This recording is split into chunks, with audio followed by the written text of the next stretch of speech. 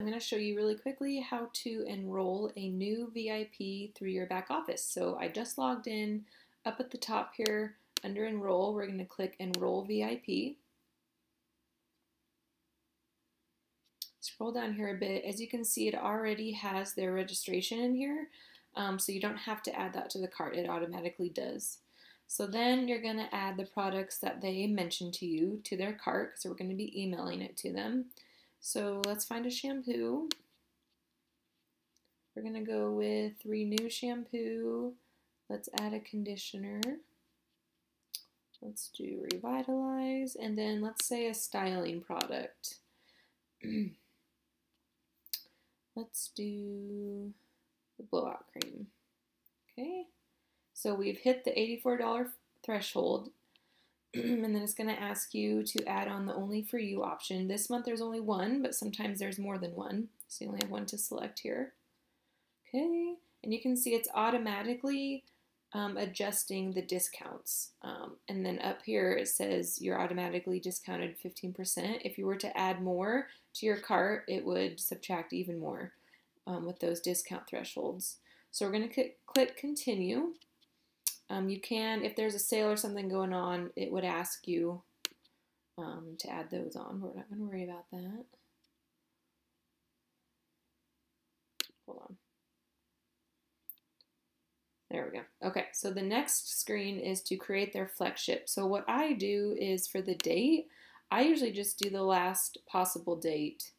Um, so like the every other month. So right now that option is the 19th.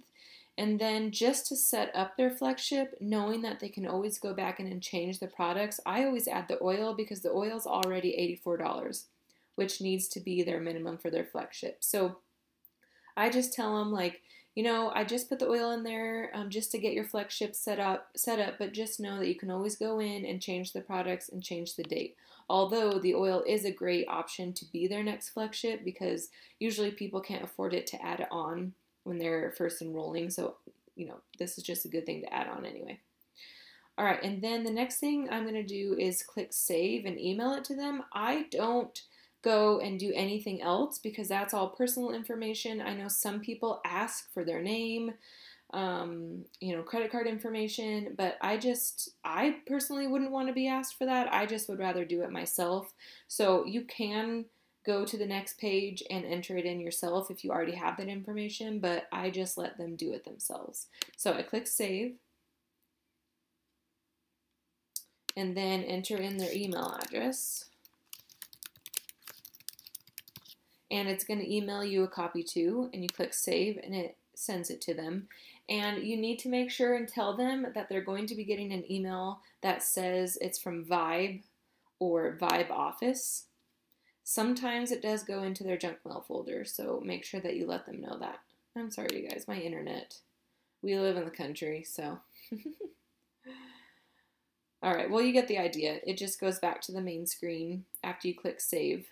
Um, so, again, make sure to follow up that they've gotten the email. Only send it once. If you do send it again, then they're not able to log in and fill out the cart information with that first email. It gets a little confusing, so just send it once tell them to check their junk mail folder, folder okay?